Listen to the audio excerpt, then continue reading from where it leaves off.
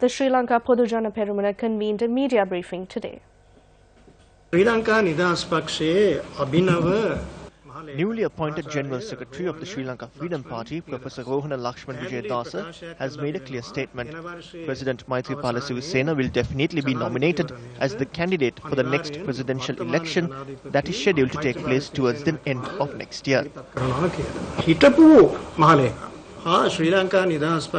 Former General Secretary and President National Organizer of the Sri Lanka Freedom Party, Duminda Dissanayake, says that this is how it will happen and that they will make it so. A broad alliance with the assistance of a number of political parties will be formed and President Maithripala Sirisena will be put forward as the candidate. We clearly state that absolutely no assistance will be extended by us to this. අපෙන් කිසිම සහයෝගයක් ඒකට ලැබෙන්නේ නැහැ කියලා.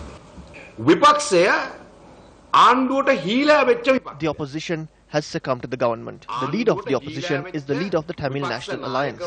The organizer of an opposition party that has become obedient to the government is now representing the government for the first time in the country's political history. ආණ්ඩුව The Sri Lanka Freedom Party has been reduced to eight members.